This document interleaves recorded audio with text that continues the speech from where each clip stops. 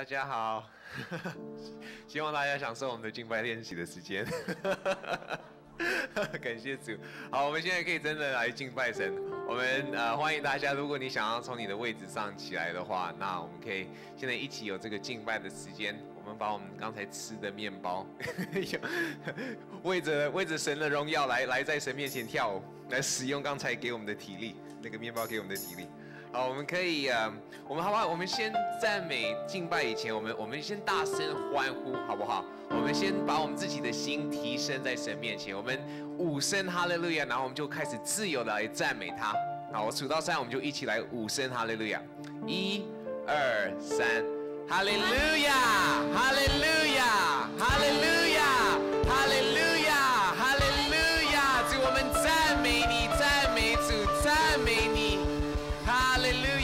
们赞美你，赞美主，哈利路亚，主我们欢迎你，赞美你的名，Praise you Lord，哈利路亚，全能神我们赞美你。拥有拥有的神，我们赞美你，赞美主，哈利路亚，哈利路亚，哈利路亚，主赞美你，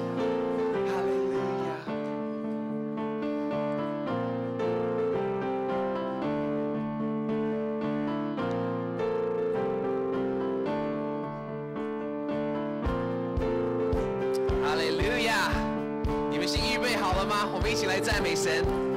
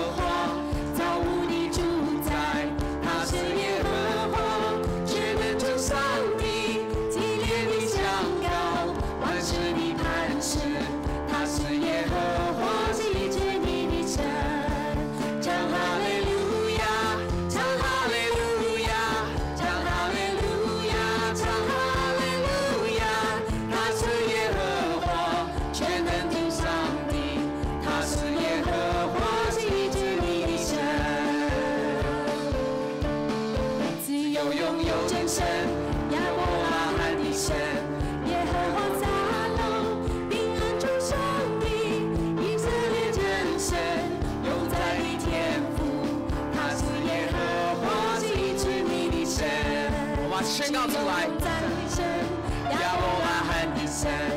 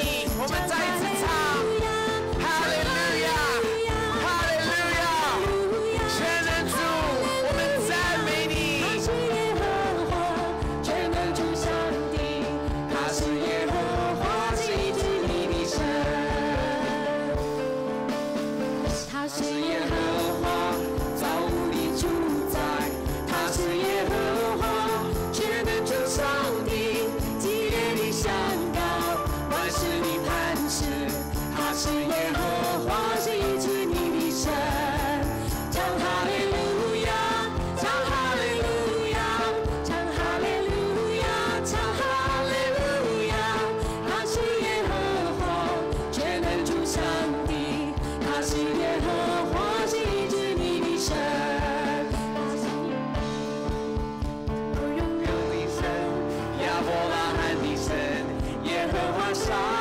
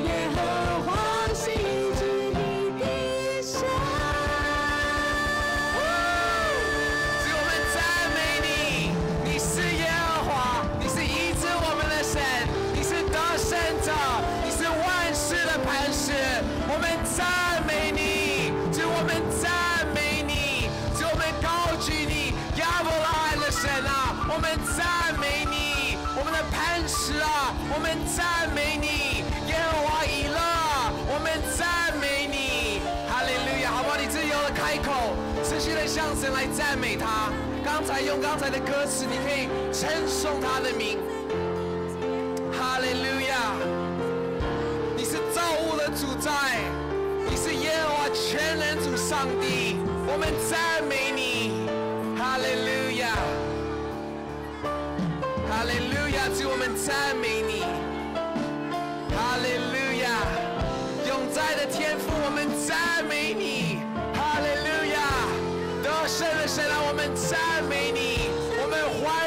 掌权在我们中间，哈利路亚。Praise you, Lord. 哈利路亚，哈利路亚，主赞美你，赞美主，哈利路亚。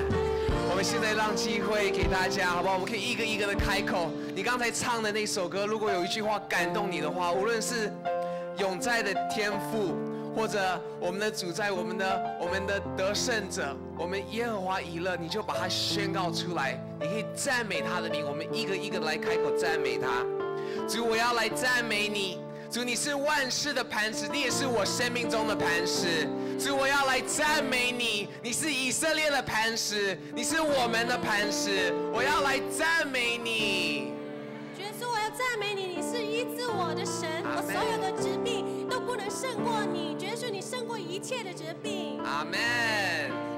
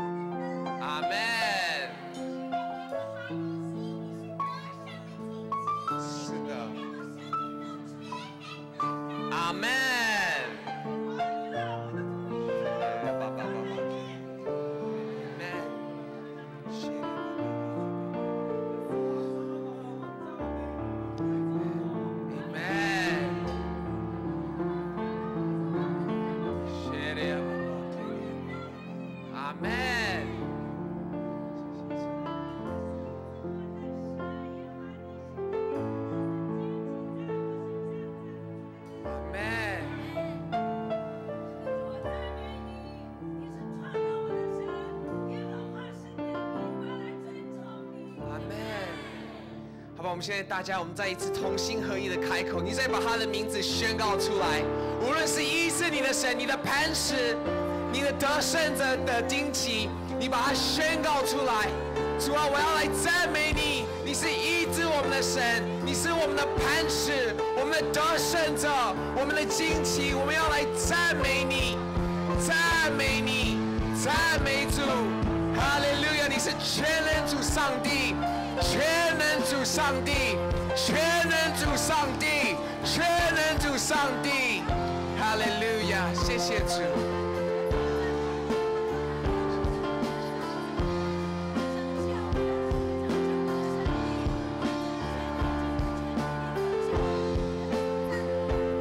主耶稣，我们谢谢你。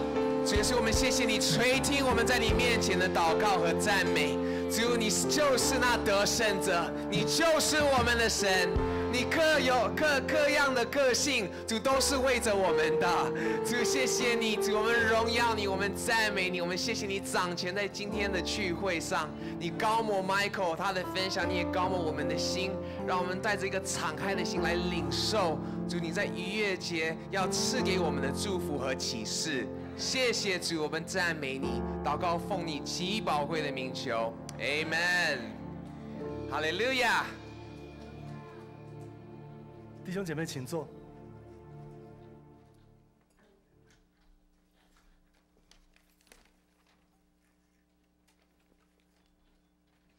欢迎大家来到我们第一堂的逾越节节期的这个讲座。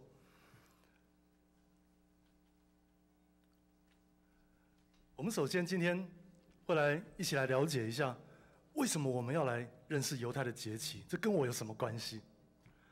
那第二个，我们要更深入的去了解逾越节期，耶和华小谕以色列人，小谕我们来过逾越的节期，这是什么意思？另外呢，最后一个我们会了解，耶稣第一次来，实际上就是成就了逾越节的羔羊，成为我们所有人的救恩，带领我们从我们一切的捆绑里面被救拔出来。所以我们就首先来看，为什么我们要去了解犹太人的节期呢？在立位记上面有讲，嗯，神让摩西来小谕以色列人，说：“我指定的节日，你们应当召集盛会。”那我想先先来问一下大家，请大家举手。如果说去年，嗯，Dr. Rennie 来到我们当中的这两次特会，你有参加过其中任何一个的，请举手。啊，请放下。那我好像知道了。所以我现在在讲这个的时候，我们每一个这个有举手的，你就可以来回想一下。呃，我我我我自己，我真的是非常非常的感谢我们教会这样子安排了。去年 Dr. Rennie 来到我们当中，这样子来第一次来带领我们开始来进入来了解，来来领受耶和华的节期，到底跟我们这样有什么个人的这种关系？那包含我自己以及我所知道的好几个我们教会的这些我所认识的同工，都在去年的这个，因为我们开始来领受，开始来来来进入到认识了耶和华的节期。我们从逾越节开始，然后后来又有嗯这个祝棚节的节期，因为我们照着。神所教，神借着他的他的仆人所教导我们的话，我们开始去种下种子，我们去认识，去也去领受，在神的天门打开的时候，比如说在去年，在这个呃祝棚节节期，祝棚节期，大家大家都记得，Dr. Rennie 有说，祝棚节期是神创造的日子，是把我们的生命整个创造出来。当我们按着神的心意，在他创造的日子，在祝棚节节期种下种子。并且洁净我们自己，来预备好我们的下一年的时候，神就根据我们所看下我们我们所种下去的，根据我们的信心，在这个祝棚节节期天门打开的时候，帮我们 set 好我们的下一年，我们跟他之间受他祝福、受他保护的关系。嗯，不不只是我自己，我看到了我们好几个同工，因为我们这样子按着神的心意，我们站入到神的这个恩典里面，在他天门打开的时候，我们照做。我真的是看到我们好几个同工，嗯，不论是在属灵上面，在健康上面，在生活上面，甚至于在说白了来在财务上面，我们真的都有很多人领受到各方面的祝福。那甚至于，即使讲到一个最简单的，今天你我我们站在这个地方，在这个日期，其实我我把它解释出来清楚，你就会赫然发现，神真的是有他很美好的心意。在这个特别的日子，要来祝福我们在座的每一个人，怎么说呢？我们这个今天以及下个礼拜天来办这两次的 workshop 这个特会，这不是我们自己，不是我们这几个同工自己定的日期，是是教会的这这几个最资深的 leader，他们开会早就决定，在一年年度开头的时候，就在教会的行事历上就已经定下，这是他们所受的感动最适合的时候。我们当初我们来跟领领袖们讨论。领袖跟我们这样子，长老跟我们这样子讲。其实我当时心里面想，我我并没有很清楚的这个感动，说我到底要在什么时候来办。但是我基于顺服，所以我知道，教会经由领袖来所跟我们讲的，我就接受，这一定是神的心意。结果接受下去以后，其实我当时所不知道的时候，我的背后，我我在我在工作里面，我的那些那群老板们正在那边在讨论，在这个时间要派我出去出差。可是呢，当我这样子凭着这个硬的信心接受下去，好，教会指派我们在这个时候，我们就在这个时候来办这两个 workshop。我接受下去，下个礼拜一回去工作的时候，我就被宣布，四月下个礼拜天晚上我就要出发去出差。那你看，当我们我凭着信心，我只是一个小螺丝钉，我站在这个地方，我愿意把我自己摆下去，把神的事情当成第一优先。神的天门打开的这个时候，我们要去一起来预备。世界的工作也必须让路，他必须要让出来。那我们再来继续讲下去，你看，事实上三个礼拜之前，Dr. Damian，呃呃，这个 Pastor Damian，他们 Damian 牧师来到我们当中。教会也事先并不知道他事先会讲逾越节的这些这些内容，但是结果神感动他讲。那教会本来江牧师是要要我们大家在两个礼拜之前小家聚会的时候，全教会的小家都要来听 Day Damian 牧师的讯息。结果呢，因为技术的关系，所以有了延误，变成是上个礼拜众小家们才听。结果大家记不记得大哥 Damian 牧师里面我们上个礼拜所听的，大哥 Damian 牧师他就是在讲这些逾越节的这些。这些内容，所以神实在是迫不及待的要在这个他天门要打开的时候，就今年的四月十四号、十五号逾越节起之前，就让我们的心都预备好。所以大家看到这一点，那想想我们自己在神面前的这个经历，我们就就发现，神真的是并不偏待人，神并不是偏待以色列人，所以特别让以色列人有这个节期。神只不过是拣选了以色列这个这个民族，成为他的新娘。所以他借着他对以色列那个不变的那个忠贞的爱，虽然以色列一再的背叛他，虽然以色列一再的跌倒，但是神早就已经预备好一切的救赎，在他时间到的时候，一次又一次的来施恩给以色列。但是当我们这些外邦人，我们这些神的儿女，这些基督徒，当我们看到神对以色列那个坚贞不变的那个爱，我们就知道神对我们也是一样的这样子的爱，所以当我们这样子一年又一年，按照耶和华的时间，我们来重新来来纪念耶和华的节期的时候，这就是在对于过去神对神对以色列，神对于我们每一个个人，每一年神的慈爱与供应就会有一个纪念跟提醒。那还有一个更大的，事实上，在在神圣父跟圣子。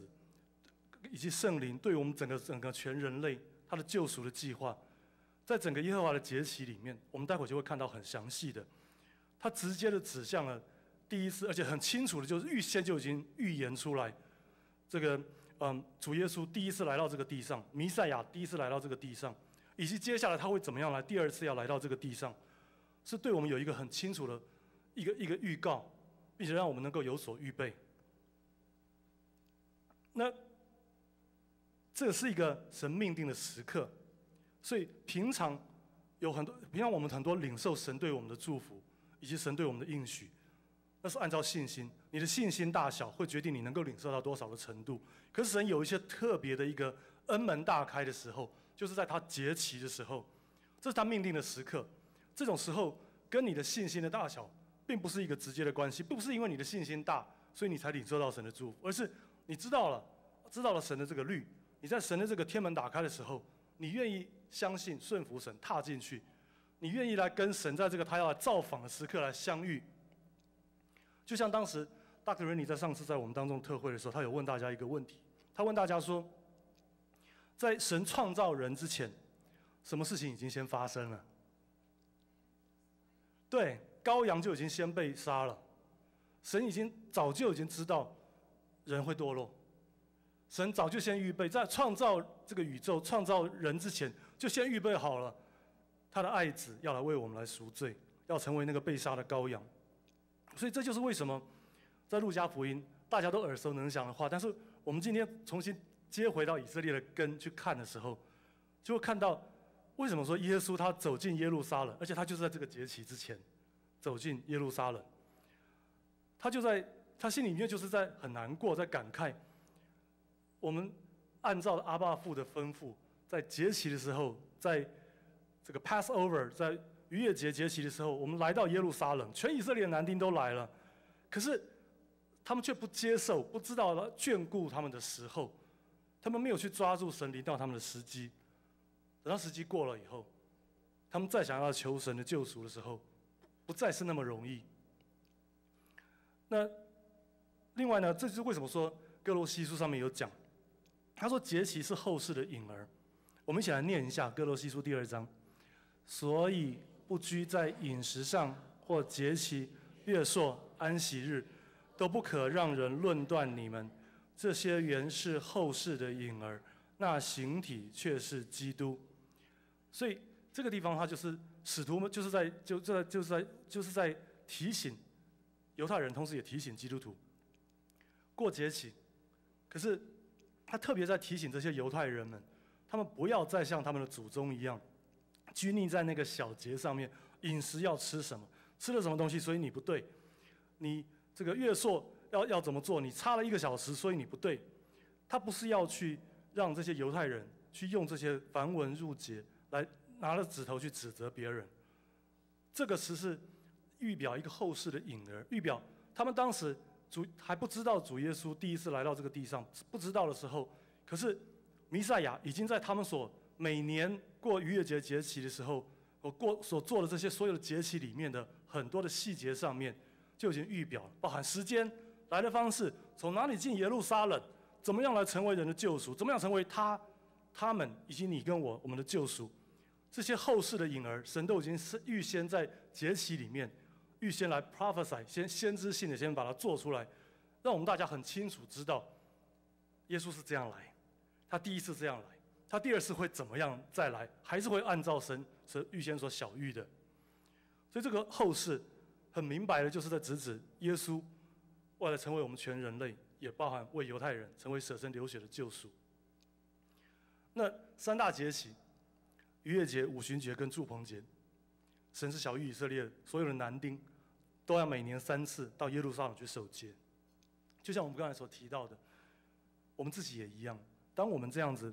按照神的时间来到神的面前，在他天门打开的时候，重新再来守这个节的时候，我们就会被提醒，我们的注意力，我们去年怎么样的？因为这样子蒙神恩典，神怎么样大大的祝福我们？那我们心里面就就能够更更加的心就能够被被神所吸引，我们就更知道我们要赞美他，赞美什么？更加从心里面来奉献，并且把我们心里面所有的崇拜都把它归给我们的神。并且这一次一次的来过这个节期，我们就更加加强我们跟神的认识跟关系。所以节期如此重要，逾越节第一个节期更是如此的重要。所以其实是人子耶稣，在他来到第一次他来到这个地上的时候，他也是按照阿爸父对于犹太人的小，他也是犹太人，对犹太人的小玉，他也是在逾越节的节期的时候，来带出阿爸父所要他来行出来的神迹。所以，约翰福音第二章那里有讲到，逾越节近了，耶稣就带着门徒上耶路撒冷去。而且呢，马太福音上面以及其实四福音上面都都讲，主耶稣在上十字架前，与门徒在耶路撒冷一同吃的那个最后的晚餐。Dr. Rennie 他当时说，这个叫做 The Lord's Supper，这个最重要的我们。一再一去剥饼，领受神的救恩，领受神的救赎的这个剥饼的这个晚餐，就是在逾越预备逾越节筵席前的那个那个晚上的无效晚宴。他们从逾越节的前一天开始就开始吃无效饼了，就是全以色列在逾越节前的时候开始，那个百货公司全部那些有效的东西都下架，只有放无效的饼。所以他们从逾越节的前一天晚上。还没有还没有杀逾越节羔羊的时候，他们就开始来吃无效的晚宴，当做一个就开始来预备来纪念，而且来预备他们的心，准备第二天最盛大、最正式的那个逾越节晚宴。这唯一的不同就是，其实他们在这个就是主耶稣所带带领门徒所一起吃的这个 The Lord Super，他们也也也吃苦菜，也用苦菜来沾那个醋来来吃。嗯，他们也吃无效饼，也剥饼，耶稣也剥饼了。那他们也喝酒，唯一的就是他们没有吃羊肉。羊肉是真的要等到逾越节的一天正式的过了，羔羊为他们赎罪的羔羊被杀了以后，才赶快来准备羊肉。所以是等到逾越节的真正的逾越节的晚晚宴开始的时候，才吃到羊肉。接下来我们来看过逾越节的礼到底这是什么意思呢？逾越节是希伯来的胜利的正月。那这个月其实原本犹太人跟中国人一样，中国人有农民历有阴历，犹太人也有一个他们的农民历。那他们的农民历里面是俗年的七月，但是神特别把它分别出来，在这个时候，小玉就是在带他们出出埃及的时候，小玉他们说，从我带出带你们出埃及开始，这个月算是你们的正月，是胜利的正月，是属于耶和华的正月。但是在原本他们叫做亚比月，但是呢，在犹太人被掳到巴比伦之后，这个月就被改名变成尼散月。但是不论是尼散月还是亚比月，反正 anyway 就是这个他们的阴历七月以及我们阳历的四月这个时候。但是呢，阳历不一定是四月，因为阳历的日期算法跟犹太历的算法不一样，所以有的时候会是四月，有的时候是五月。但我们今年是在四月。那神在这个时候带领以色列出埃及，神向以色列说：“你们要以本月为正月。从从从这个时候开始，在我的眼中，以及在你们的生命里面，这个时候成为你们的一年之首。那这是什么意思呢？逾越节是一个新的开始，可这不是一个最原始的开始。为什么说这不是一个最原始的开始？大家都记得，嗯，Dr. Rennie 在去年祝棚节特会的时候，有跟我们大家讲，神起初创造，神创造天地是在什么节期的时候？对，是在 Rosh Hashanah，在苏卡节期的时候。这个苏卡节期才应该是原本的开始，对不对？可是呢，神在就像 Dr. Rennie 所说的，神在创造之前，羔羊就已经被杀了，他早就已经预知，就知道人会堕落，他早就已经预备好，他要为人准备一个救赎，要有一个重新的开始。所以苏卡就是祝棚，呃，对对，祝棚节节起，是一个神创造天地的开始，这是神原创的心意。可是后来以色列人进入到奴隶的捆绑，我们人也是一样，亚当夏娃堕落，我们人都进入到罪的捆绑里面。那大同仁，你当时有讲过，当你在用手机的时候，那个手机开始功能都不良，呃，很慢的时候，你就要 reset。对，所以神就是预备好了，在逾越节期是一个 reset，是一个重新开始。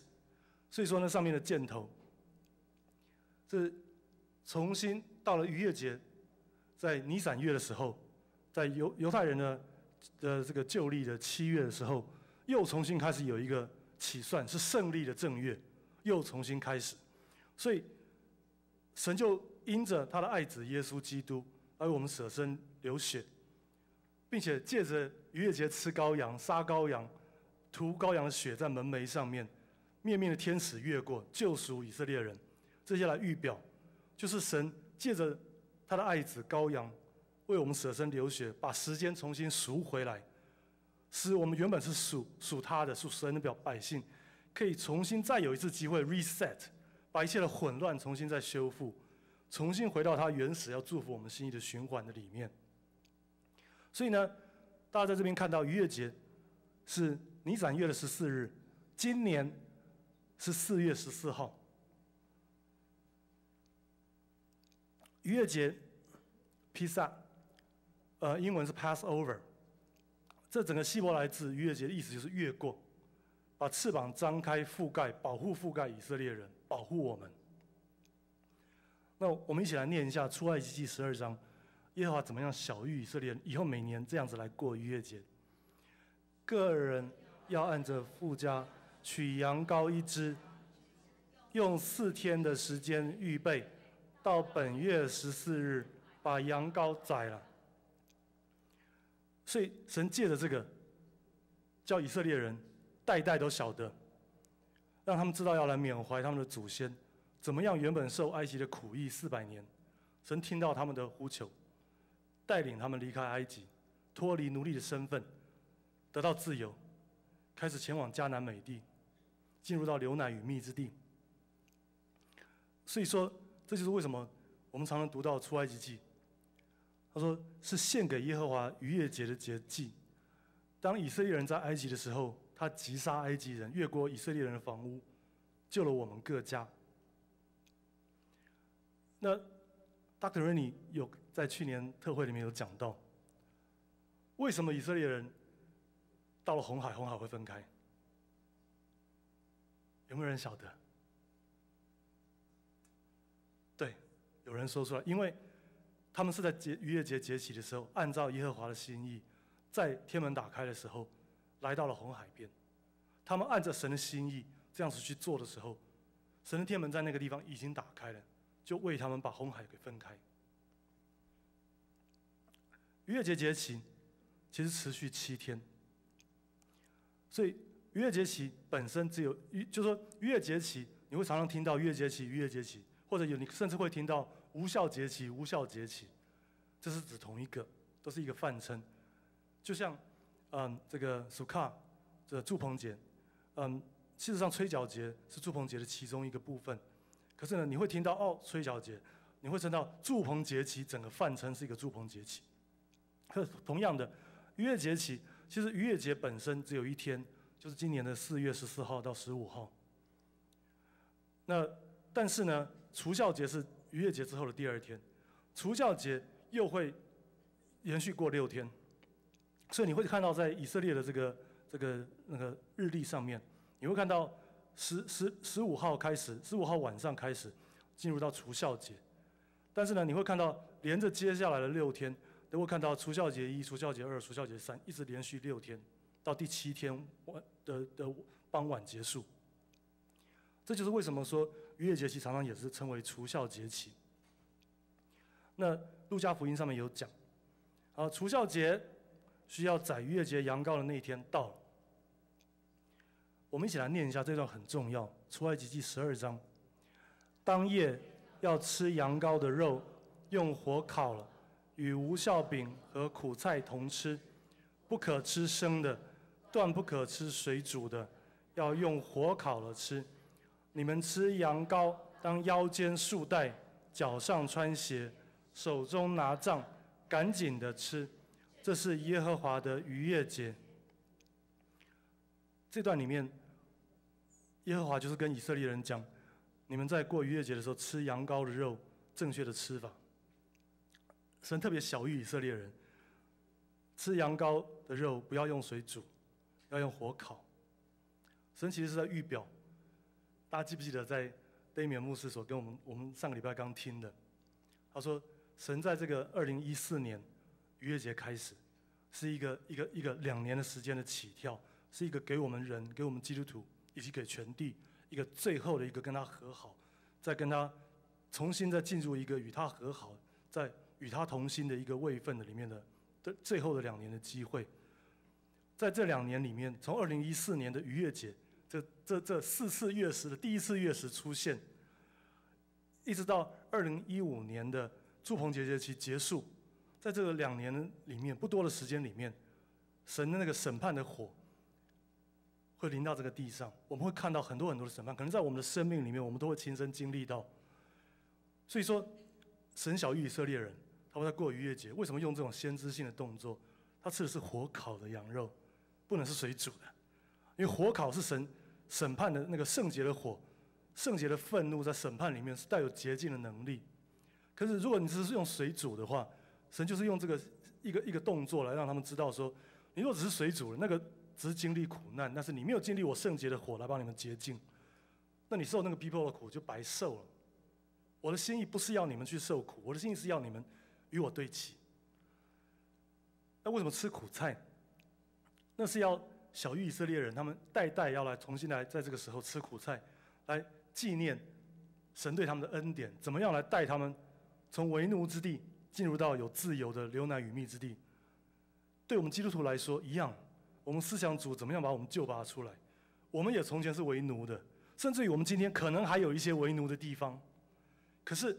神把我们拯救出来，让我们悔改。只要我们愿意悔改，在这个节期恩门大开的时候，重新悔改，他会给我们那个特别的恩典、特别的力量，来让我们来出埃及，从那个奴役我们的那个苦苦境里面，让我们能够转回。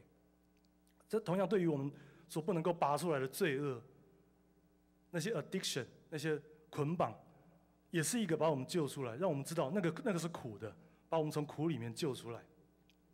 所以说，他小耶和华小玉以色列人，腰间束上腰带，脚上穿鞋，鞋子穿好，手上杖拿好，赶紧吃，因为这个是耶和华的逾越节。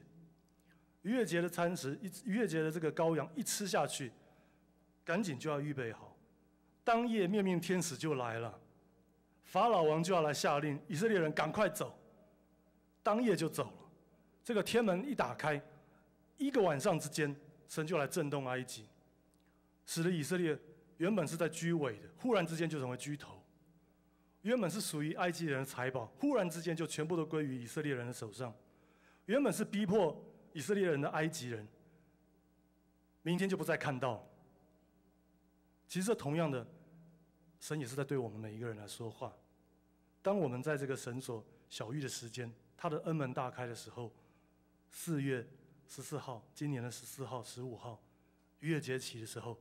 我们因着信心，相信他的应许，我们踏入他的节期的这个天门的里面。当我们来领受了羔羊的宝血，吃了羔羊的肉的时候，吃了他的饼无效饼的时候，那个原本逼迫我们的埃及人，我们就不再看到了，当夜就不再看到了。但是呢，逾越节到底是一个审判还是一个救赎的日子？就是对面牧师所说的。在接下来这个二零一四年到二零一五年，短短两年的时间，这到底是对我们是不是跟世人一样？这只是审判吗？还是这是一个救拔我们的日子？这完全是看我们要住在哪一边，我们要怎么样来预备。灭灭天使过的时候，他所看到的是门楣上面有没有羔羊的血？我们有没有经历？让我们自己去经历神的审判？羔羊的血。涂在门楣上，就代表说罪被洁净。耶稣牺牲了赎罪，为我们设立新约。我们来看一下这段 YouTube 影片。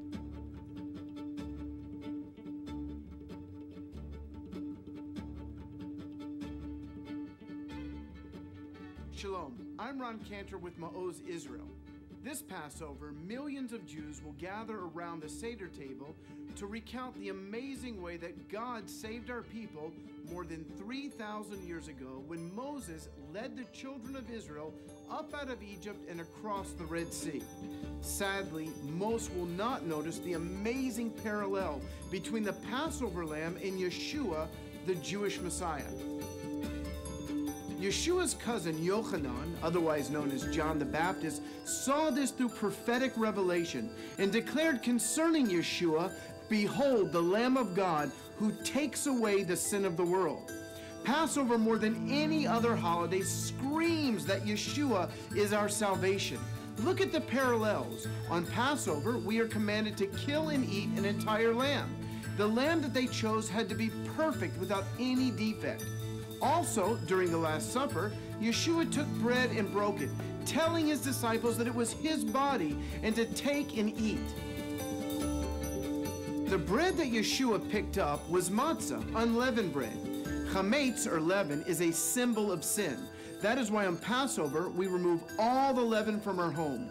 When Yeshua took that unleavened bread and said, This is my body, he was declaring himself to be sinless. Just as Simon Peter said, You were not redeemed with corruptible things like silver or gold from your aimless conduct received by tradition from your fathers, but with the precious blood of Messiah, as of a lamb without blemish and without spot. And how can we forget that the meal which is commonly referred to as the Last Supper was actually a Passover Seder? Yes, Yeshua died on Passover just like the Passover lamb.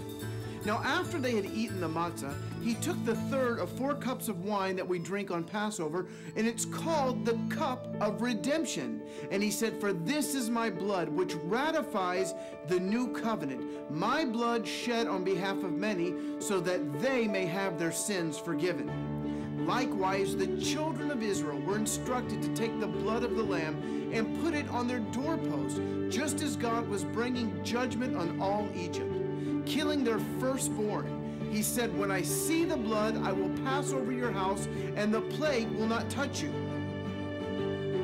The blood of Yeshua on the doorpost of our hearts protects us from God's judgment, even as the blood of the Lamb brought salvation to the children of Israel. Through Yeshua, we are not only protected in this life, but our sins are forgiven and we will have eternal life. Actually, God's land was promised to the world hundreds of years before the Exodus. When Abraham was taking his son Isaac to Mount Moriah to sacrifice him there, Isaac asked his father, Where's the sacrifice? Abraham responded, My son, God himself will provide the lamb. But later in the chapter, it's a ram that Abraham finds in the thickets, not a lamb. That lamb of whom he unwittingly prophesied would come later as God's son and Messiah, Yeshua. Just as John had said, Behold, the Lamb of God. Even as Abraham, the father of our faith, was willing to give God his only son, God sent his only son, the Lamb of God, to shed his blood for our salvation on a very special Passover nearly 2,000 years ago. Would you take time this Passover to pray that God would open up the eyes of Jewish people everywhere to the true Passover lamb, Yeshua the Messiah? From all of us at Ma'oz, Chag Pesach Sameach. Happy Passover.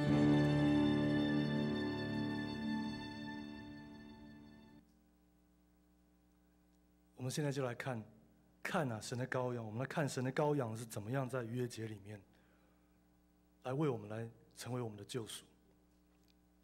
我们一起来念一下《路加福音》二十二章。拿起饼来注谢了，就拨开，这是我的身体，为你们舍的。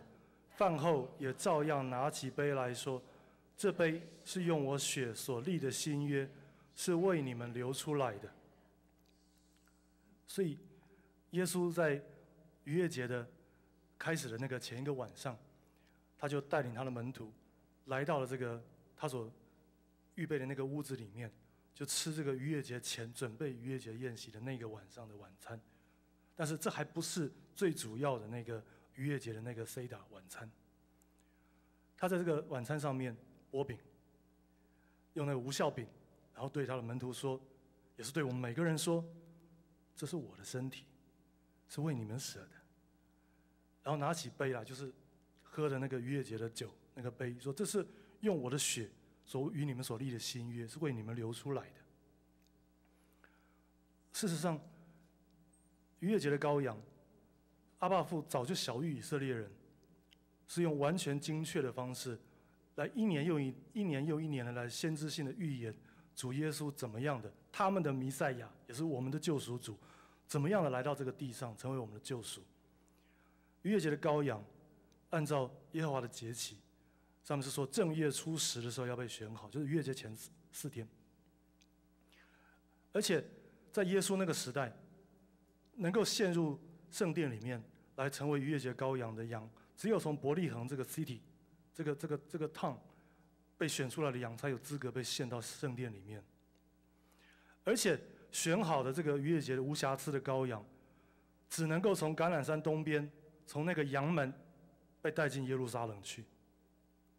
这是耶和华的礼，他们是这样子来过逾越节，一年又一年，在主耶稣还没有来到这个地上第一次之前，就来一次一次的先知性的预表，主耶稣会这样子来。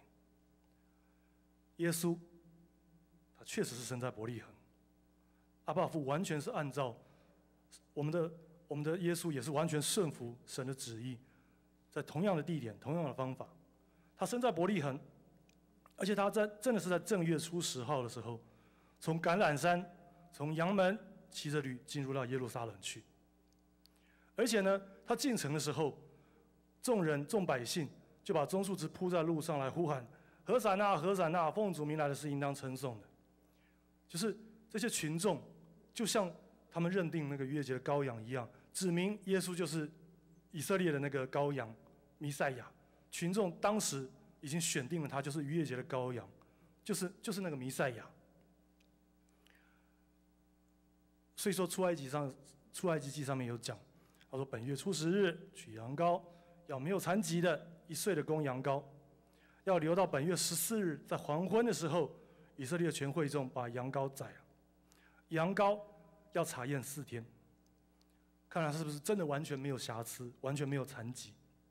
耶稣同样的，真的是在在这个耶路撒冷被试验四天，他十号就进城，一直查验到十四号，以色列全会众来查验，祭司、长老、文士、法利赛人全部来查验他，真的是查不出他有任何的罪，没有瑕疵。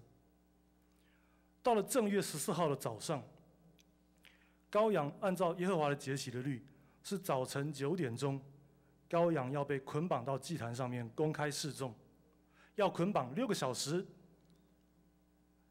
同样的，耶稣也是在正月十四号早上九点钟，按照当时的犹太人的律钉上十字架，在加略山上面公开示众，从早上九点开始，要绑六个小时羊羔，到了下午三点钟的时候切断他的喉咙，羔羊被牺牲。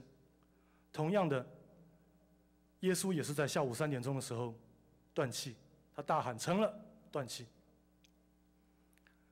那其实希伯来文他们成了，他意思就是说债全部都还清了，所以真的是债全部还清了。完成献祭需要六个小时，耶稣挂在十字架，不多不少六个小时。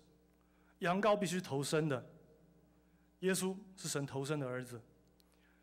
羊羔的骨头一根都不可折断，耶稣的骨头也是一样，一根都没有折断，以至于他已经断气了，本来是要打断他的腿骨的，都不需打断，一根骨头都没有折断。完全来应验到弥赛亚的预言。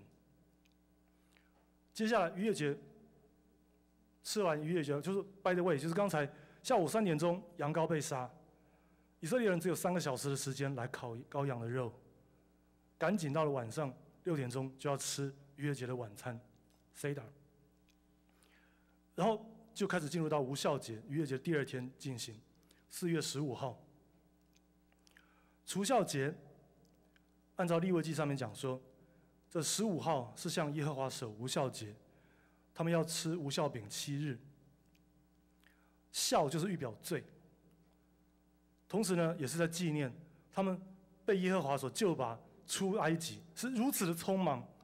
当天晚上吃完羊羔的肉，当晚面面的天使就来了，法老王紧紧的就就就就赶他们赶紧离开，所以他们是匆忙的离开的，而且必须匆忙。因为神打开天门的时间就只有那么一段时间而已，事后一过，法老王就反悔。所以说，他们是要纪念他们的祖宗，在被神救拔的时候匆忙离开，如此匆忙以至于没有时间让那个面笑发笑，所以都是无效的饼。可同时也预表先知性的来来来预表，这个笑是罪，要把它除掉。就你看，同样的，耶稣也是在在无效节的那个节期的时候。他一进到耶路撒冷，头一件事情就到阿巴夫的殿中，去撵出那些兑换银两、那些做生意在那边做买卖的人。他是在为逾越节来做洁净阿巴父神的圣殿的这个工作。同样同样的，无效饼玛莎刚才在那个 YouTube 里面有看到，犹太人其实要吃，就他他其实有三片无效饼，待会我们在下一个 YouTube 还会看到更详细。那个无效饼。总共有三片，上中下三个放在这个装无效饼的袋子里面。但是呢，他们在这个仪式里面，他们在喝第三杯酒之后，拿无效饼出来掰开，只掰中间的那一个。为什么是三片无效饼？为什么只掰中间的那一个？因为三片无效饼，圣父、圣子、圣灵，中间的是圣子，掰开的是圣子。这是在预预表。在以赛亚书上，他说他被压伤，他被鞭伤。撒加利亚书上讲他被砸，为了我们的罪被砸。所以在除孝节，耶稣是无罪的生命的粮。同样的，他们犹太人在过无孝过无孝节的时候，他们在在大餐上面要四个杯，要一共要喝四个杯的酒，也是要等到第三杯酒的时候。才来把那个无效饼拿出来放在桌上掰开，其实这也是在预表耶稣受死三天以后复活。同样的，我们来过这个无效节，在过这个 Passover，这个神救拔我们的日子的时候，神也是要来提醒我们，我们要把握这个机会，要除去我们生命里面的笑。我们里面有什么罪，是容许撒旦来奴役我们的，使我们过得很贫穷的。耶稣要在这个时候打开天门来，要来为我们死，释放我们，让我们能够从此出埃及，过一个富足的生活。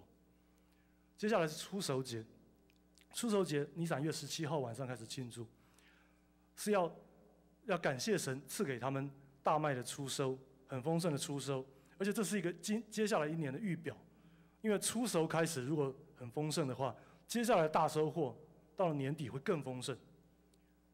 这就是为什么立位记上面，所以铁父传道他他在他以前在在在在在呃收奉献的时候，他会让我们把我们的奉献拿出来，在神的面前摇一摇，做摇祭，这是有圣经根据的。呃，立位记，神真的是小于以色列人，以色列人拿出手的大麦在耶和华面前摇一摇，献上出手庄稼以后，他们才可以来吃任何的收成。他们是在庆祝出手。其实，耶稣复活的当天就是出手节，第三天复活。这这阿爸父就是让这个来预表，如果出手的是丰硕，我们的主耶稣是丰硕的，那我们这些全熟的，我们也会是丰硕的。哪些方面丰硕？所以我们读加拉太书，那些圣灵的九种果子，那些都会成为我们的丰硕。甚至于阿爸父早就一再的按照各种的他的节期以及他的所有的重要的事情，来小喻我们。大家都很熟悉挪亚方舟的故事，大家都很小很熟悉，方舟在洪水退了以后，是停在亚拉腊山上。可是洪水以及之后的救赎，神其实也是在重新让人有一个 reset，重新开始一个 new beginning。这个 new beginning，再一次，而且是在之前，就是在在开始这个逾越节出埃及之前，也在同一个日子、同一个天门打开的时候，在正月十七号，阿爸父神让挪亚方舟停在亚拉拉山上，洪水退去。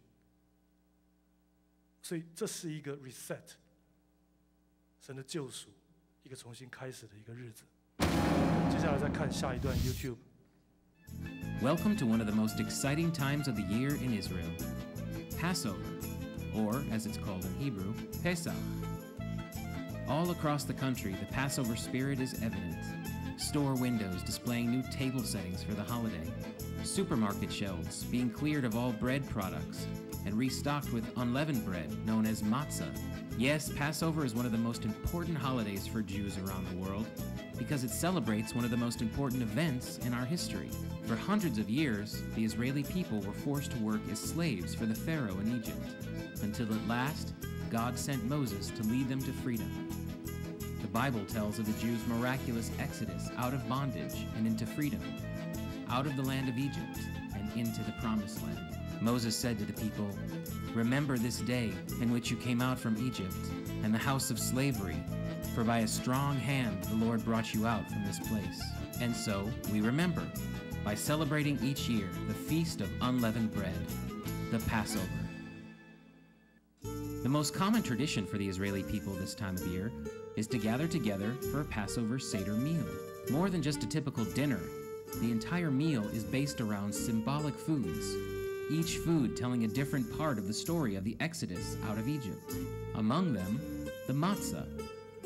Why is the holiday known as the Feast of Unleavened Bread? Because when at last Pharaoh relented and let the Jews go, they knew they had very little time to escape. The Israelis didn't even add the yeast for their bread to rise. They just grabbed their things and fled. Thus, the unleavened or unrisen bread is eaten to remember that hurried flight to freedom. Symbol number two, the shank bone, a reminder of the lambs that were to be killed, the sacrifice God commanded the Israelis to make each year on the Passover. For it was the blood of a lamb that protected the Jewish people just before God set them free. The biblical book of Exodus tells us how God brought nine plagues on the Egyptian people as the punishment for the way they were treating the Jews blood, frogs, vermin, flies, pestilence, boils, hail, locusts, and darkness, but none of them were enough to change Pharaoh's heart. It wasn't until the tenth and final plague that Pharaoh finally relented and let the Jewish slaves go. That tenth plague was the killing of the firstborn of each Egyptian family. To make sure that no Jewish children were killed, God commanded the Israelis to kill a lamb and to wipe its blood on the doorposts of their homes. That way, when the Lord was moving about Egypt, slaying each firstborn child, he would see that the Jewish homes were covered by the blood of the Lamb, and would thus pass over their homes, leaving their children safe.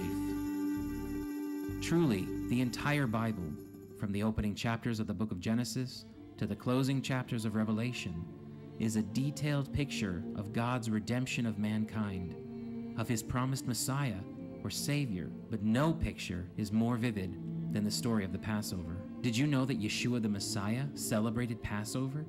Did you know that his famous Last Supper was actually a Passover Seder? That Passover, as lambs were being killed and sacrificed, Yeshua himself would be arrested, beaten, and crucified. This Yeshua, who John the Baptist called the Lamb of God who takes away the sin of the world, was now becoming the sacrificial lamb for all mankind. Like the Passover matzah, he was pierced and striped for our transgressions. One final Passover symbol remains a mystery to many Jews. Each year during the Seder meal, three pieces of matzah are put into one special bag. Three in one. But most Jews are uncertain as to why three pieces are set aside. למה שלוש מצות? כן, בפסח. אני לא יודע. אני לא יודע. למה שלוש מצות? ליאורה, בואי. למה שלוש מצות בפסח? אברהם, יצחק ויעקב. האבות. אברהם, יצחק ויעקב. יש לו שבעים לא זוכרת למה. למה שלוש? למה שלוש מצות? למה שלוש מצות? There is a reason. There is also much confusion as to why the middle matzah is broken, wrapped in its own special cloth, hidden somewhere in the house, then returned by the child who finds it, and finally broken into small pieces and shared with all at the table. We Messianic Jews see these three pieces of matzah as a picture of the ultimate three in one the Father, the Son, and the Holy Spirit. Three in one, the triune God. The middle matzah, the Son, broken, wrapped in cloth, buried, and then rising again, just like Yeshua, our Messiah. At that Last Supper, Yeshua took the matzah, broke a piece for each, and gave it to his disciples, saying, This is my body, broken for you. Eat this in remembrance of me. One has to wonder, on that night of the Exodus, when each Israeli family took the blood of the lamb and wiped it on the doorposts of their homes, first on the top, then on the two side posts, did it resemble the image of a cross?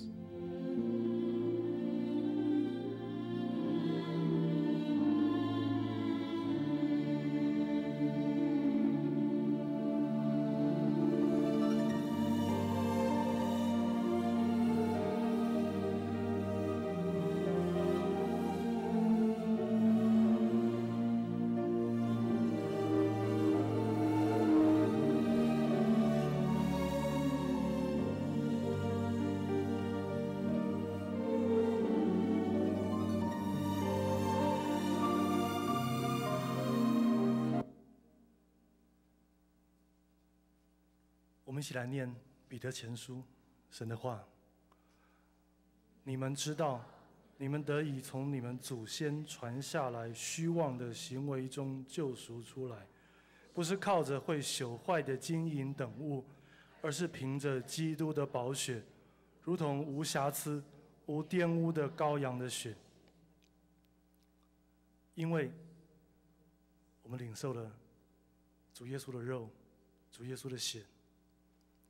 他已经为我们把他的身体剥开，所以我们不再需要被祖宗所遗传下来虚妄的行为所捆绑。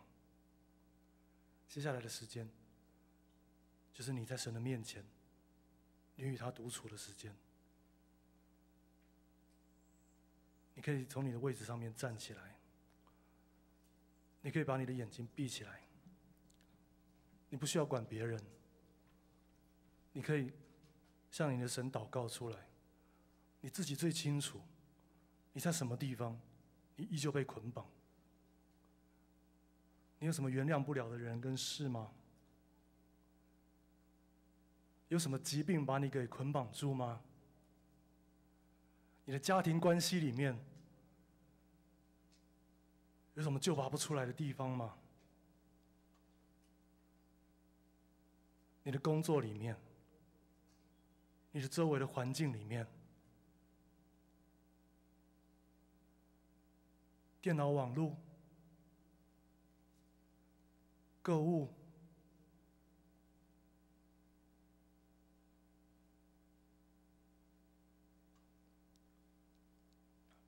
大家可以自由的站起来，你可以大声的去开口，在神的面前，大家都不要去听别人，这是你自己跟耶稣之间的时间。你可以自由的站起来，你甚至可以走动。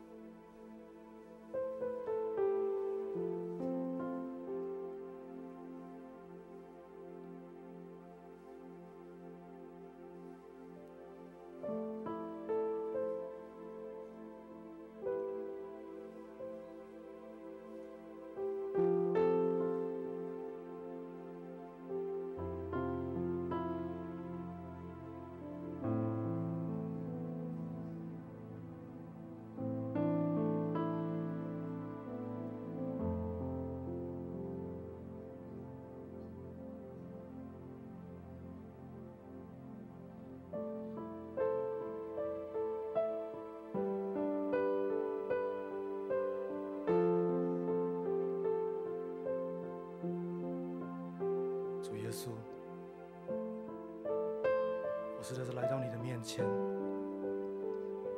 我实在要向你来承认，我的里面有对于我我老板里面那个没有办法释放出来的原谅，你真的是帮助我来原谅我的老板，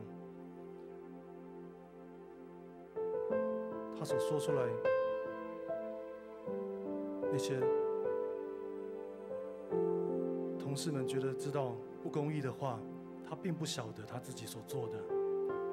神，你来帮助我，帮助我原谅我的老板对我所说出的那些伤害的话。主耶稣，谢谢你。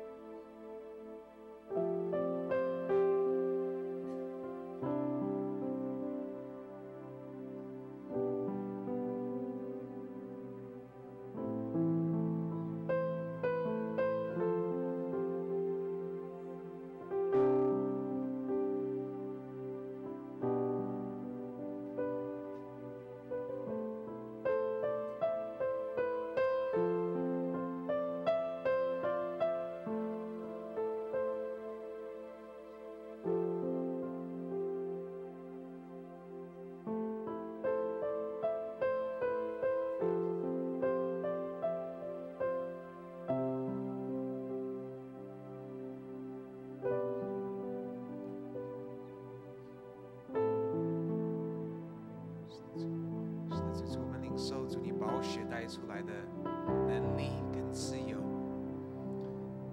主你的宝血使我们得胜，使我们越过我们没办法越过的事。是的，主，谢谢你，借着你的宝血，主我们的生命得更新。主在我们个人的捆绑和征战的里面，主我们宣告，主你的宝血能够救把我们脱离要给我们的捆绑。主我们接受主你宝血释放出来的大能。主我们敞开我们的心，主啊，我们说我们领受你的宝血能够释放出来的能力。主，我们敞开我们的手，我们敞开我们的心，我们说主，靠着我们自己我们没办法，可是主靠着你的宝宝血，主我们能够得胜。主，我们谢谢你的宝血，现在涂抹在我们身上，现在涂抹在我们的啊我们的问题上，我们的困难上。主，我们图你宝血的大能，我们图你宝血的大能，我们释放你宝血的能力。主，我们谢谢你。是的，主，我们没办法打败的。主，你的宝血为着我们，主帮助我们来打败这一切。谢谢主。好，你现在你可以，刚才你你在祷告的时候，你觉得你的困难的那个地方，你领受神要赐下来这个宝血的能力。我鼓励大家，你可以比较大声一点的开口，你不用听旁边的人讲什么，你听你自己的声音。好，你就开口比较大声的宣告，你能够知道你能够听到你自己的声音，你求神释放他宝血的能力，你宣告出他宝血的大能在你的困难里，你的困难中，你宣告他的保险的能力。主，我宣告你的保险能够使我突破我心里一切对人的惧怕。主，现在我在我学校里面对的困难，主，我宣告主你的保险使我得胜。使我能够面对我觉得不可能面对的事情。主，你的保险加着力量给我。主，我谢谢你，我领受主你宝血的能力。哈利路亚，主赞美你，鼓励你开口，你把你个人的困难交在神面前，涂耶稣基督的宝血在你的困难上。神的宝血能够使你得胜。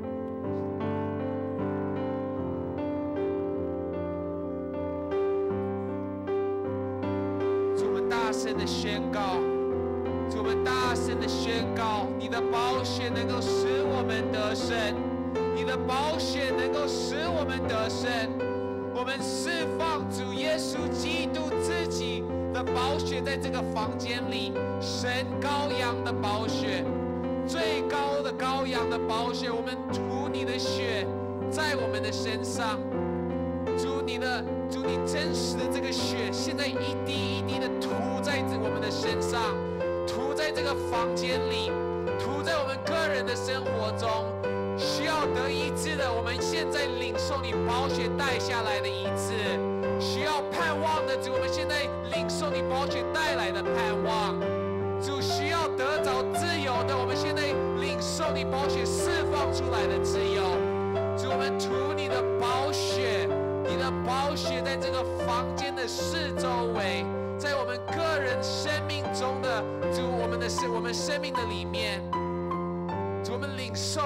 宝血，好不好？你现在你甚至都可以做一个先知性的动作。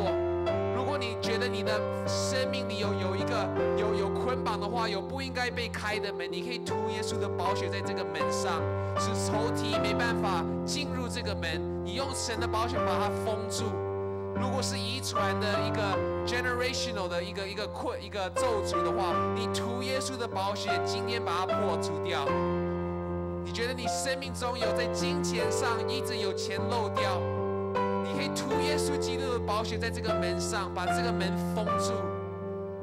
我们宣告主，借着你的宝血，仇敌没办法偷窃、杀害、毁坏，主我们家庭里所有的祝福，我们奉耶稣基督的名，涂你的宝宝血、羔羊的宝血在我们生命的门上。主我们谢谢你。甚至可以用你的手，可以开始抹耶稣的宝血在你生命的门上。你可以开始做先知性的动作，涂耶稣的宝血在你生命的中生命上，把它涂上去。奉耶稣基督的名，我们涂主你的宝血。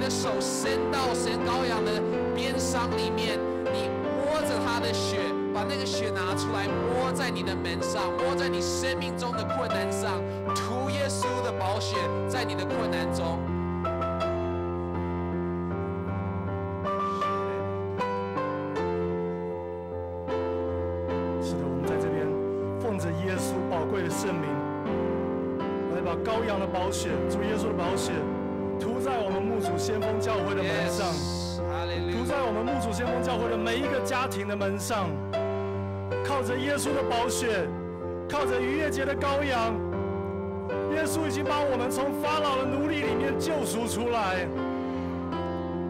我们今天所看到的贫穷、捆绑、囚禁、瑕疵、疾病，我们明天将不见再看到了。法老王从此对我们没有任何的权柄。在你神的面前来宣告，你可以大声的宣告出来。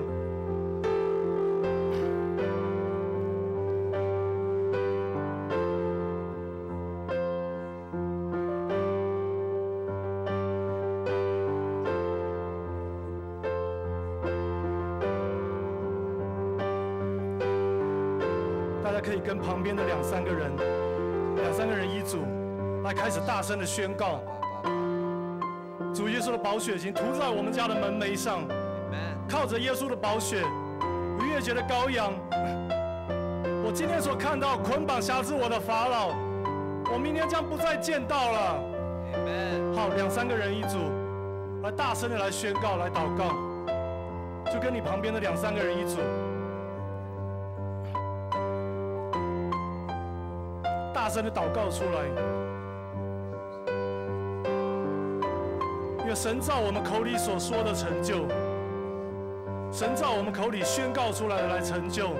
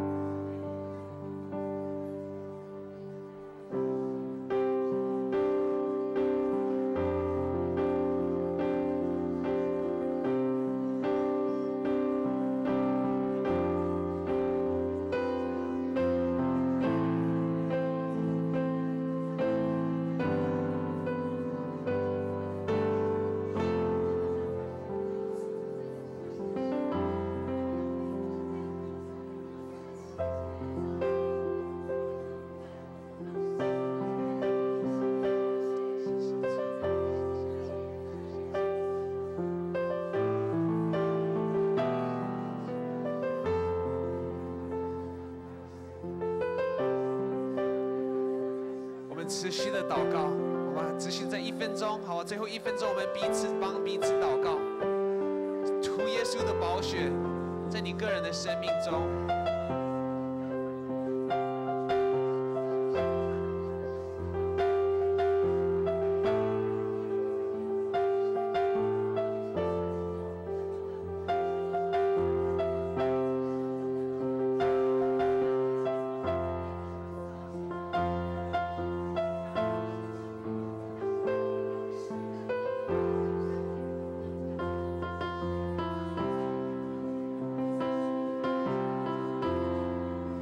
谢谢你，哈利路亚！主，谢谢你的宝血带下来的能力，主，我们领受主你的宝血在我们生命中的遮盖和保护。主，我们谢谢你的宝血能够封住一切的门，能够封住一切我们敞开的门。主，你的宝血赦免我们的罪，封住我们的门，洁净我们，使我们不再有破口。谢谢主，谢谢主，你保血的能力在我们的生命中。谢谢主，祷告奉你的名求，Amen。我们会持续的在我们的小组里面祷告。可是你现在想一想，你刚才祷告的哪一个门，在你生命中哪一个门是开的？有可能是你金钱一直漏掉，或者你的身体的健康一直漏掉，或者你觉得你生命中哪里是在被偷窃、杀害、毁坏的地方？那些地方在哪里？你认你认罪过了，然后你做所有的祷告都祷告过了，可是你在还是一直发现这个地方一直一直漏掉，好，你也在试着改变，你在尽量试着改变，可是你发现这个地方还是在一直漏掉，好不好？你先安静你的心一下，你想一想这个地方在哪里？我们等一下会做一个先知性的动作，我们会帮彼此涂耶稣的宝血在这个啊、门框上，这个门楣上。等一下为彼此的涂耶稣的宝血在彼此的门楣上。我们现在先领受一下，啊，我们我们现在在漏掉的地方，这些地方在哪里？我们花三十秒的时间，我们在神面前仰望他，或者你可以看一看你生命中哪里有这些漏掉的地方，是你的身体健康吗？你的工作或者神给你的祝福，神给你的火，神给你的平安。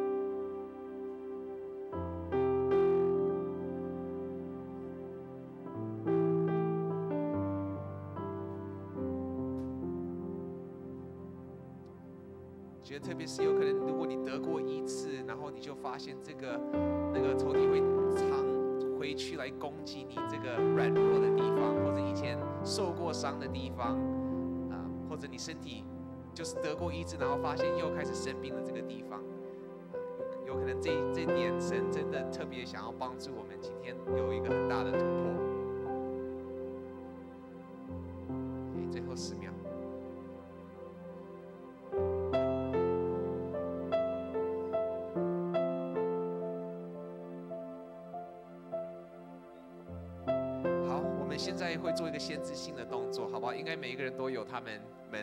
门在哪里？好吧？你可以跟你你的那个对方的人，你的 team，呃，你跟一那个人一起祷告，那个人跟他讲一下你的门是什么。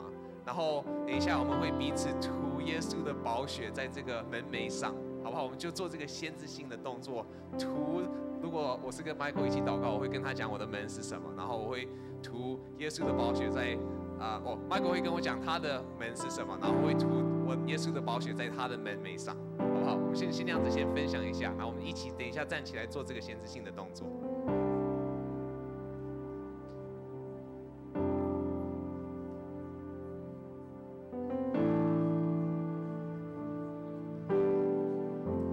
给大家三十秒的时间，你们可以彼此分享一下。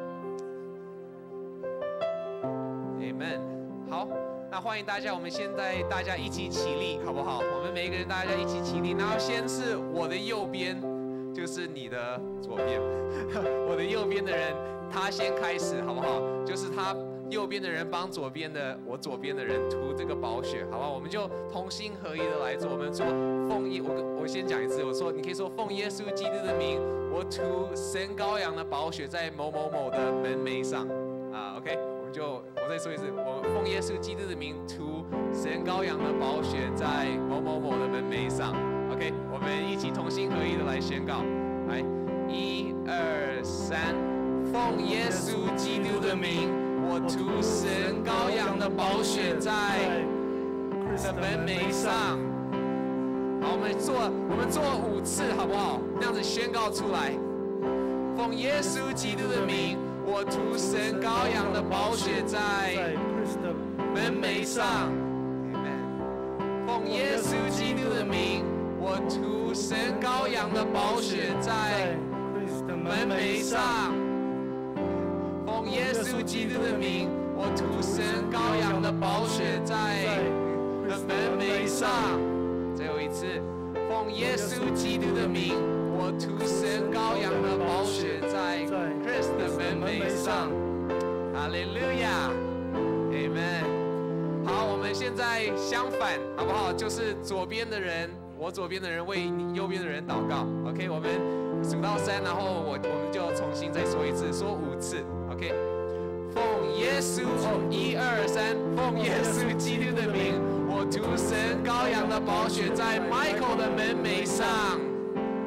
奉耶稣基督的名，我涂神羔羊的宝血在 Michael 的门楣上。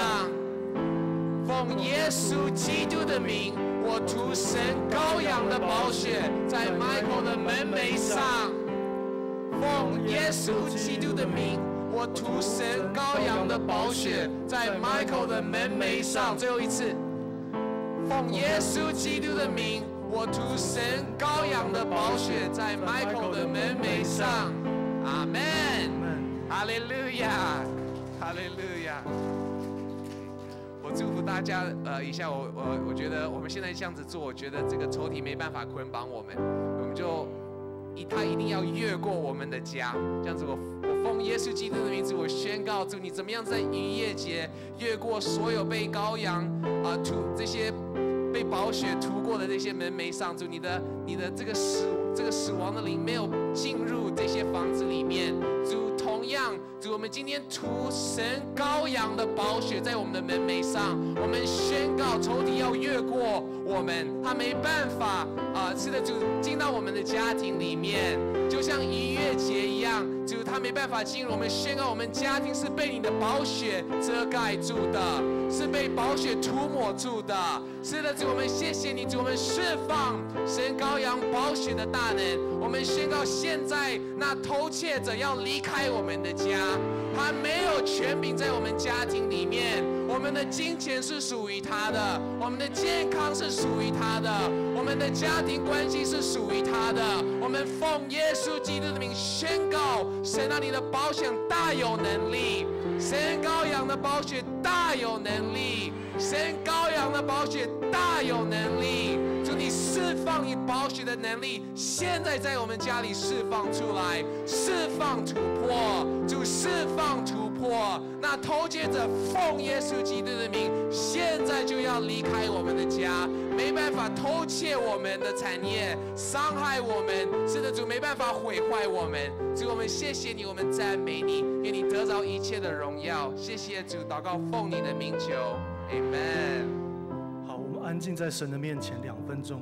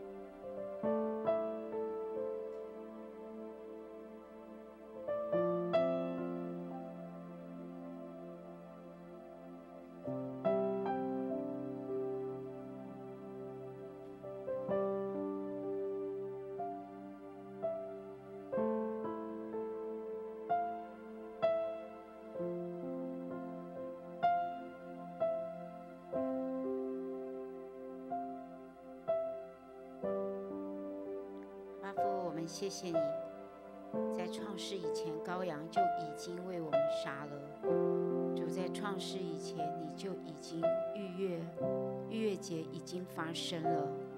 主还是谢谢你，整本圣经都一直看到这个逾越节的真理。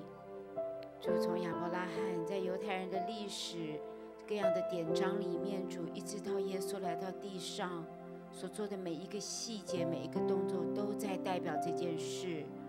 主甚至连他嗯波饼以后，他还说：“你们要常常如此行，为的是纪念我。”阿父，你真的是多次多方来向我们说话。主，真的我们要一直预备自己，活在这个逾越节的真理里面。阿父，我谢谢你，主，你天门再开的日子又要到了。主，孩子真的很感恩你，让我们可以还有一点点的时间预备自己，主来配合你这个嗯天门打开的时候。谢谢你是这样细腻的在爱我们，这样细腻的在爱教会。你把一次又一次的机会放在我们的面前，主求你向我们吹气，把信心、把专注力再次眺望在我们的里面，让我们不要白白度过今年逾越节的这个时候，不要白白错过今年你天门打开的时机。主不要白白的，主还是情愿留在埃及被捆绑，主没有预备好来跟你走出埃及。阿爸父，是的，再来向我们吹气。主，你持续搅动我们，也鼓励我们。主，拿去我们里面一切的失望，一切的嗯里面的呆滞。主，让我们的灵苏醒，预备我们自己两个礼拜以后，真的在你天门大开的时候，阿爸父，我们说我们预备好了，一个反败为胜，一个从从为奴的到自主的，主那个尾巴的能够到手的，主都要发生在我们身上。我们谢谢你，谢谢你听我们的祷告，这样祷告是奉耶稣基督的名。我们差不多还有两个礼拜的时间可以预备。我想你跟我是不是一样，我非常的兴奋，也很感恩，我们这个讲座可以提前发生，所以我们有时间预备。我鼓励你回去，啊，你最近也许可以再重新去看出埃及记，啊，或者看耶稣的生平，好，或者是就是把今天 Michael 所讲的，你上网在教会的事工部里面有祷告部，祷告部里面有以色列事工，以色列事工里面就有讲到今天的讲座。我们先我们会把今天的 PowerPoint 摆上去，把 clip 先摆上去，但是 video 我们可能要花点时间 editing，所以再等一下。我鼓励你上去重温，让神的真理好像这样渗透在你里面，好像你这个人会醒过来，预备好自己，因为那个天门就是这样打开，然后就关上来。但愿你跟我都在里面能够趁势而行。好，谢谢大家。